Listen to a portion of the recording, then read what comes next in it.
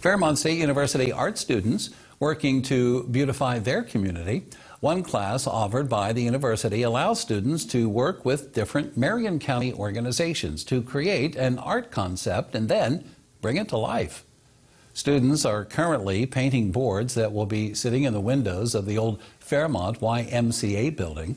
The design was done by student Madison Knight, who says that she was inspired by the natural beauty of the West Virginia area and the golden hour when the sun hits all of the trees in the buildings. She thinks the project will help brighten up Fairmont.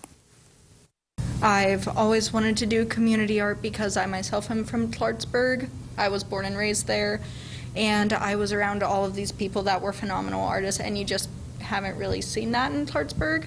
So to be able to do it in general, it's just really exciting to be able to say, yeah, I did that for my community. For me, this is just a great opportunity to um, uh, offer a service to the community that helps to um, use art in a way to hopefully uh, start to start a conversation about revitalization, about viewing our community um, through a different lens. The class's next community art project, oh, there, by the way, there it is. And anyway, the next community art project will be painting a mural for the Disability Action Center.